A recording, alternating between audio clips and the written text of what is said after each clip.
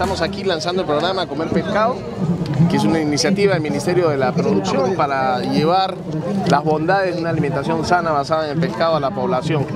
Esta oportunidad estamos aquí en La Libertad, que es la novena región donde a Comer Pescado se está instalando, para continuar con una serie de iniciativas vinculadas a la promoción del consumo de pescado.